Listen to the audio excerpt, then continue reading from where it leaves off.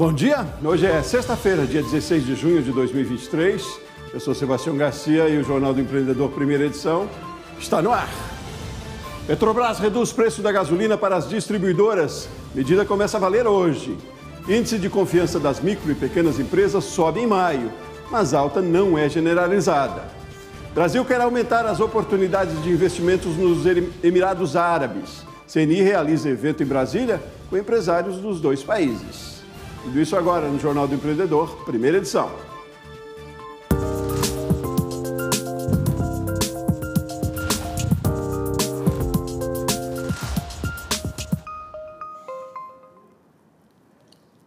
Bom, e a gente abre o jornal falando sobre combustível. A partir de hoje, o preço da gasolina para as distribuidoras está mais barato.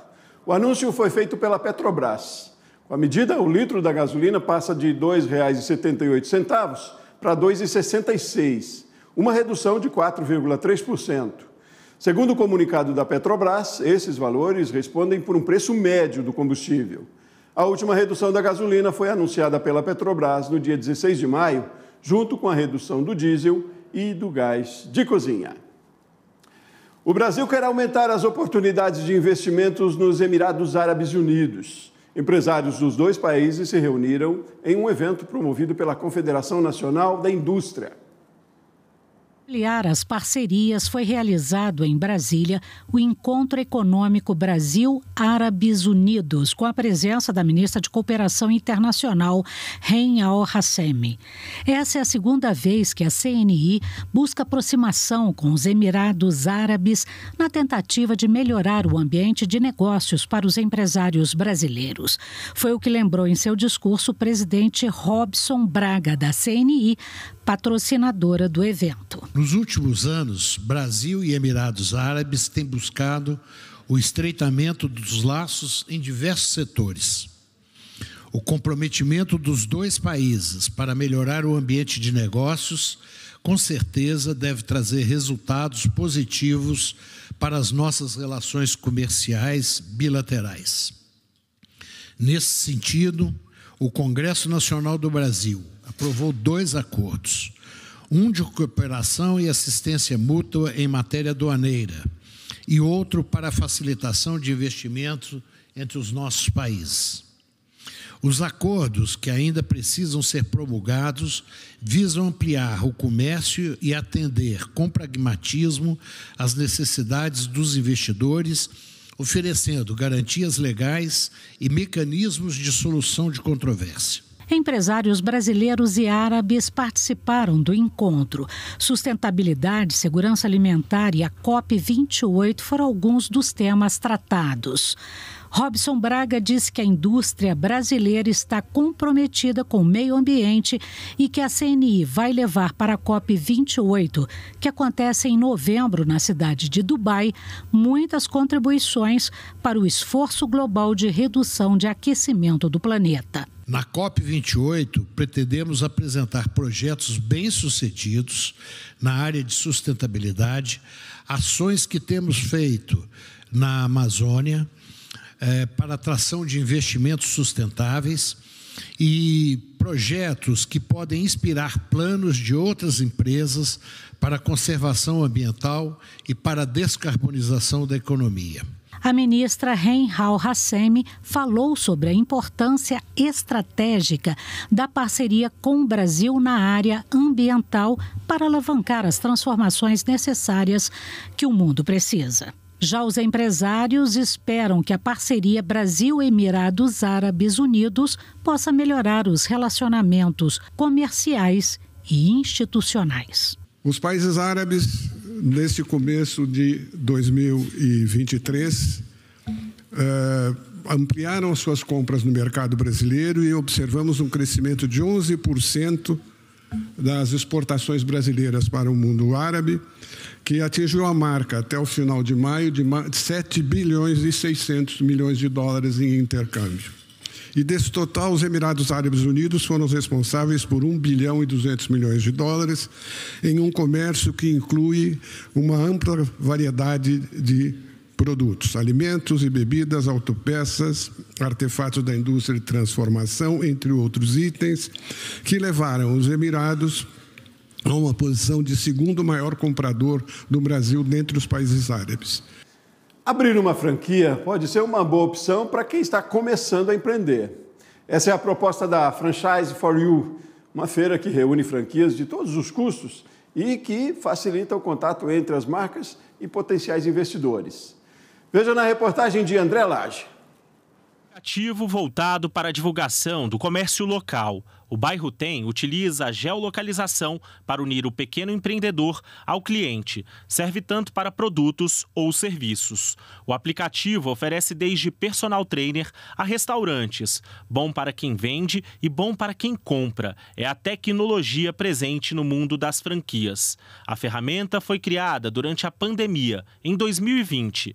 Depois de fazer sucesso em São Paulo, agora o criador quer expandir o negócio para o Brasil inteiro por meio de franquias. A gente tem uma, um valor é, inicial de 10 mil reais, que é a taxa de franquia, mas estamos com uma campanha nacional, estou aqui numa feira aqui em Brasília, por 3 mil reais. Investimento muito, muito baixo, com retorno muito, muito alto para o tipo de investimento. Ou seja, qualquer um pode ter o seu jornal do bairro, né? Ou seu, seu aplicativo do bairro hoje super acessível. No espaço há ainda esta loja de presentes criativos. São canecas, porta-retratos, luminárias, entre outros produtos. A empresa foi fundada em 2014 em Campina Grande, na Paraíba. É a Love Gifts, que já está presente em todas as regiões do Brasil. E para ser um franqueado, não precisa um grande investimento. A gente vem para expandir a marca para várias cidades do, do, Brasil e sempre buscando formatos de negócio. E a gente criou o formato home based, que é o franqueado trabalhando de casa, que a gente chama micro franquia, com investimento muito mais baixo que é de a partir de 25.500, como a gente tem vários outros modelos de loja física, estamos, estamos lançando agora o container. Então a gente tenta fazer um hub de negócio, de possibilidades para os empreendedores que querem iniciar sua carreira no empreendedorismo. Essas e outras marcas estiveram presentes na Franchise for You, que aconteceu pela quarta vez em Brasília, na 60 edição. E o mundo das franquias está em alta. No último trimestre de 2022, o setor teve um faturamento de mais de 60 bilhões de reais, um aumento de 12% em relação ao mesmo período de 2021. Os dados são da Associação Brasileira de Franchising. E para quem pode investir valores mais altos, a feira apresentou marcas consolidadas, como por exemplo a Brasil Cacau, a Copenhagen, a Havana, entre outras investimentos que podem chegar a quase 600 mil reais. A pessoa vai fechar um negócio com essa franquia, cada uma tem o seu modelo de como atuar. Né? É, dependendo do segmento, franquias de alimentação vão ter que fazer, ter uma cozinha, tem um investimento às vezes maior, mas essa franquia vai estar tá dar todo o apoio, vai dar todo direcionamento para que esse negócio seja um sucesso. A Franchise for You acontece duas vezes por mês. O evento tem gerado muitos negócios. A próxima edição está marcada para o dia 6 de julho em Salvador, na Bahia. Quem vai ditar as regras é a franqueadora né, para esse futuro franqueado. Então eles já sabem o que deu errado, o que dá certo. Então se você seguir exatamente o que a franqueadora te propõe, é sucesso garantido. Tudo bem. Olha, o envelhecimento da população brasileira cria um cenário de desafios em vários segmentos da sociedade e de oportunidades também. Segundo o IBGE, a parcela de pessoas com 60 anos ou mais saltou de 11,3 para 14,7% da população no levantamento feito entre os anos de 2012 e 2021. Hoje são pelo menos 31 milhões de pessoas nessa faixa etária. Um estudo agora mostra que comunicação e saúde lideram as demandas das startups que apresentam soluções para o público 50 mais. E é sobre esse assunto que eu converso agora com Michelle Kaller, diretora de operações da Abstartups, que fez esse estudo. Oi, Michele, bom dia, tudo bem? Bom dia, pessoal, bom dia. Obrigada pela oportunidade de estar aqui falando sobre esse assunto tão relevante para o ecossistema de startups. Pois é, desafiante também, né? Obrigado a você aí pela disponibilidade de conversar com a gente. Me diga, como é que foi feito esse estudo? Bom, a gente fez um mapeamento no Brasil inteiro. É, todas as startups que participaram, elas preencheram um formulário colocando ali várias informações sobre o trabalho delas. É, esse formulário foi preenchido de forma voluntária durante os meses de janeiro a março desse ano. A gente fez esse levantamento de 44 startups é, que são consideradas age techs, né, que são as startups ligadas a tecnologias desenvolvidas específicas para o público 50 a mais, é, pensando nas necessidades, nos desafios desse público. É, e a partir dessas 44 startups, a gente conseguiu mapear várias informações sobre segmento, sobre tempo de atuação, faturamento, é, equipe, há quanto, tempo, há quanto tempo elas existem, enfim. A partir disso, a gente lançou esse mapeamento. E aí, comunicação e saúde são demandas maiores, é isso? Das startups? Como é que é o cenário? A gente tem bastante startups nesse segmento já? Qual é? Sim, o que a gente vê hoje, principalmente é, por volta de 84%, 85% das startups são o que a gente chama de health techs, né? Então, startups ligadas à saúde e bem-estar. É, a gente viu, de fato, um crescimento desse tipo de startup após a pandemia. Obviamente, elas já existiam, mas a pandemia trouxe luz é, a, essa, a essa demanda, né, esse cuidado maior com a, com a saúde, principalmente do público idoso, que sofreu bastante nesse tempo.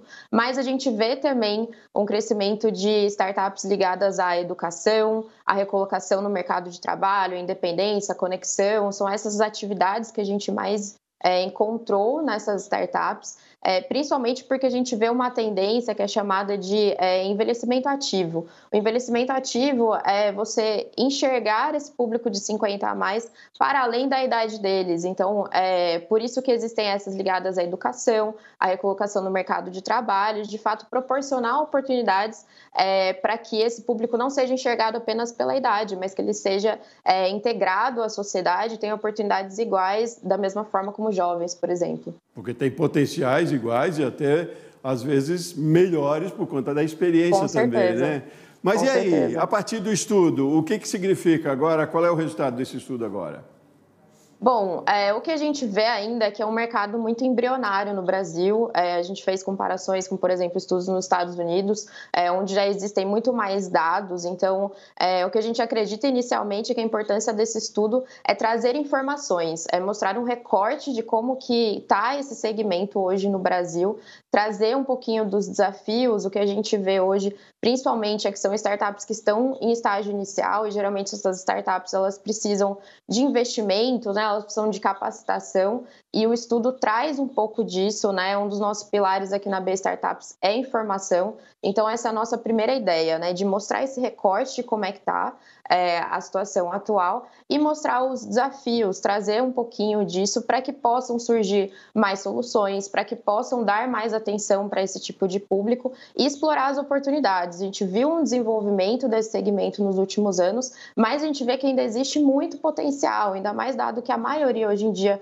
está ligada mais à área de saúde. A gente viu ali no nosso mapeamento que ainda existem muitos outros desafios desse público que podem ser alcançados, né? Então, é, eu acho que isso é um pontapé inicial para que novas é, soluções possam se desenvolver, para que essas startups mapeadas possam é, ter mais atenção, possam se conectar com o público delas, para que a população 50 mais tenha acesso a esse tipo de tecnologia, saiba que ela existe é, e que cada vez mais isso possa ser atendido, né? que as demandas e necessidades do público 50 mais possa de fato ser alcançado pela tecnologia, porque a gente vê que as startups no Brasil é, têm se desenvolvido muito e é muito interessante que haja essa conexão com esse público. Que gargalos ainda a gente tem para esse crescimento, Michele? Políticas públicas, talvez, não? Por onde a gente pode aproveitar da melhor forma essas oportunidades? Claro. É, o que mais a gente vê de gargalo é, dentro da, desse, dessas startups é a questão de captação de investimento. Foi esse o principal desafio que elas colocaram ali no nosso mapeamento. É, e é o que a gente vê que é, para a gente, enquanto Associação Brasileira de Startups, é super importante que a gente faça conexões dessas startups com órgãos públicos, com é, corporates, né, empresas que queiram investir em inovação, com investidores, com incubadoras, aceleradoras. Então, é, o que a gente traz aqui são oportunidades para que essas conexões possam acontecer e que para que investimento, capital, possa ser direcionado para o desenvolvimento dessas startups. Né? E ao mesmo tempo que elas atendam essas soluções. Hoje, se a gente for ver, apenas 4% das startups mapeadas são ligadas ao setor de educação. Mas a gente vê aí um crescimento é, desse público querendo procurar capacitação, cursos, enfim, continuar investindo né, no desenvolvimento deles, porque a gente sabe que eles ainda têm muita capacidade. É, então, esse número percentual de diferença entre startups que são ligadas à saúde, a bem-estar, e as startups que são ligadas a, a, outros desafios, ele ainda é muito discrepante. Então, a gente vê aí um gargalo também é, e uma oportunidade para que surjam novas soluções nesse sentido. É, inclusão no mercado de trabalho também é, é um dos exemplos, né? Ainda são poucas startups que é, estão olhando para isso, apesar de já existirem, de ser algo bom. Então a gente vê que ainda precisam ser é, alcançados alguns desafios desse público que ainda não estão sendo completamente solucionados. Maravilha. Michele Kaller, diretora de operações da Ab Startups, obrigado pela sua participação com a gente aqui hoje. Imagina, obrigada a vocês. Ótimo. Obrigada, bom dia. Bom dia. Vamos fazer um intervalo rapidinho no próximo bloco? Você vai saber quais são os setores da economia em que os donos de pequenos negócios estão otimistas. Nós voltamos já já.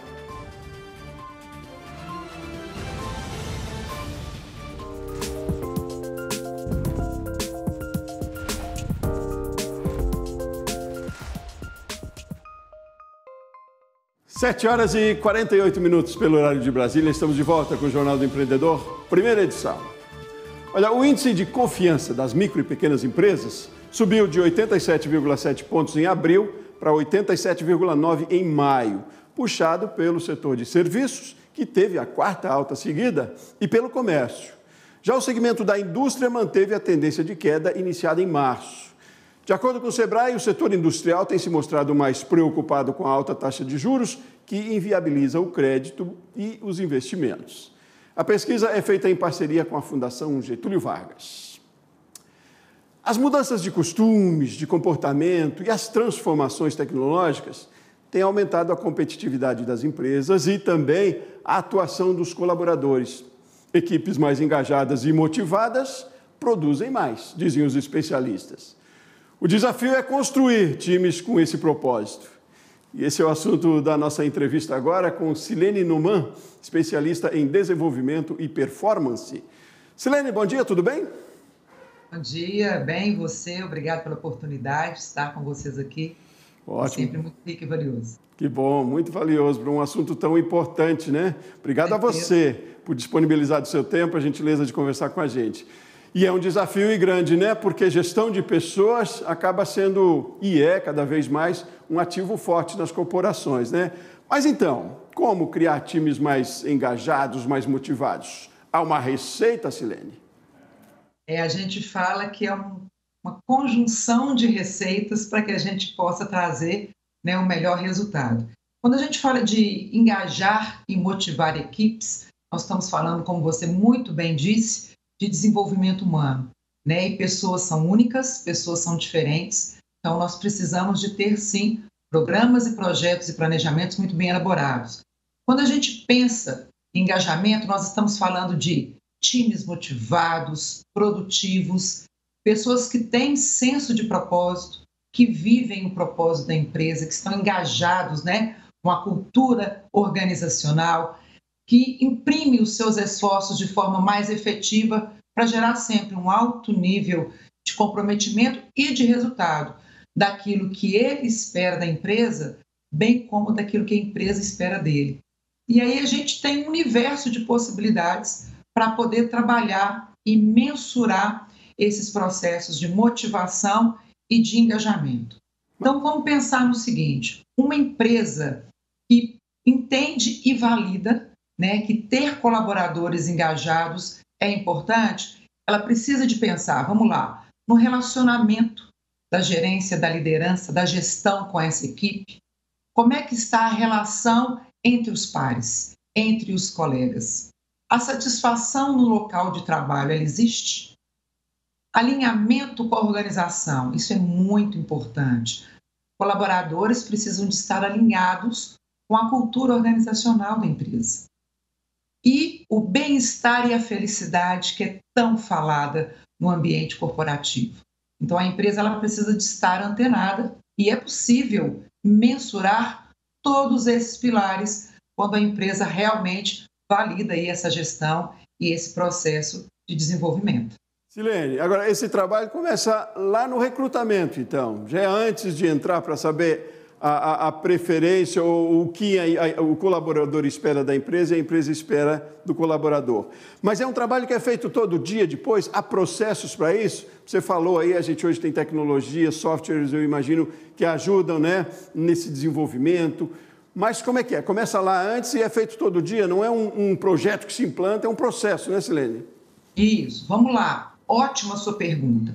O processo que a gente chama de onboard é um dos mais valiosos para que a empresa possa fazer uma contratação efetiva, porque quando eu tenho a pessoa certa no lugar certo, com certeza o resultado daquele colaborador dentro das suas funções, das suas atividades, serão muito mais efetivos.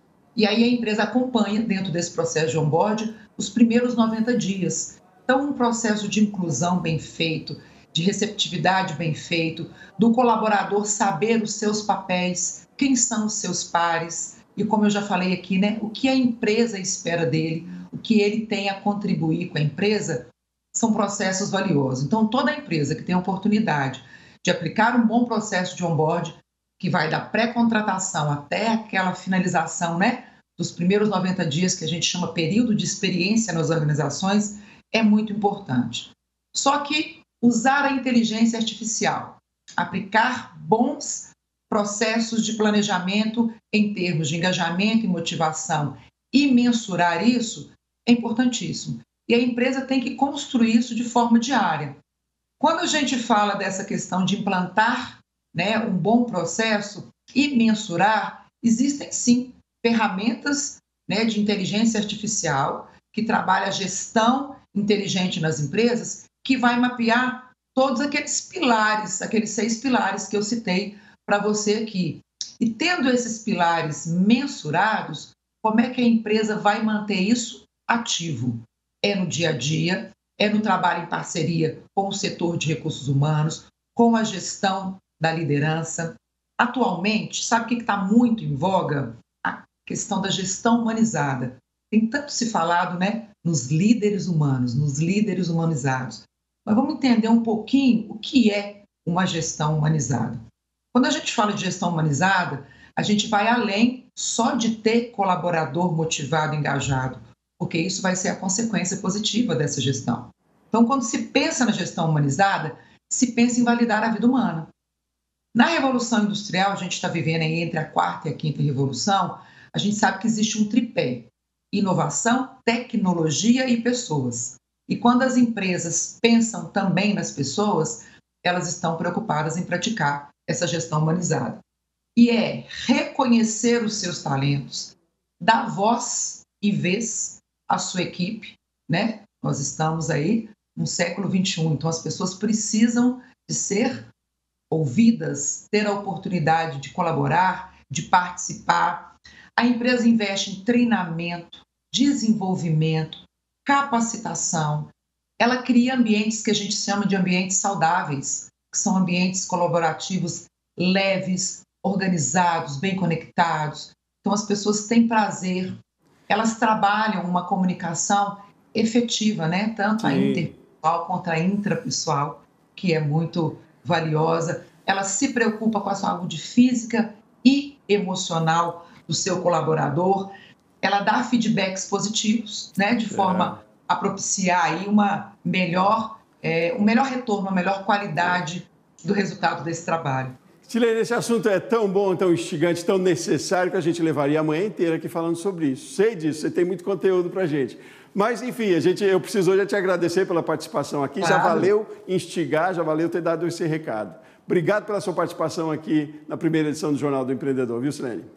O prazer é todo meu e parabéns né, por vocês estarem contribuindo aí de forma tão significativa para as empresas, para os empreendedores e para os negócios. Muito bem. Um abraço, bom dia a vocês. Você também. Seguimos por aqui. A Agência Americana de Classificação de Riscos, Standard Poor's, melhorou a avaliação da economia do Brasil no exterior. Passou da categoria estável para positiva. Segundo a agência, no chamado crédito soberano, o Brasil manteve a nota BB-, que reflete a capacidade do país de honrar compromissos financeiros. A agência americana diz ainda que, apesar de o Brasil ainda registrar grandes déficits fiscais, o avanço da atividade e um caminho mais claro para a política fiscal podem resultar em um ônus da dívida do governo menor do que inicialmente era esperado. A Standard Poor's não melhorava a pontuação do Brasil desde 2019. A oferta de novos voos para o Brasil tem atraído mais turistas estrangeiros. Notícia boa para quem trabalha com turismo. Pense em um sueco que gosta do Brasil. De tanto vir a Salvador, Per aprendeu um pouco de português, casou com uma baiana e quando bate a saudade, corre para a Bahia. Eu gosto das praias aqui, a cultura, pessoas aqui, é maravilha.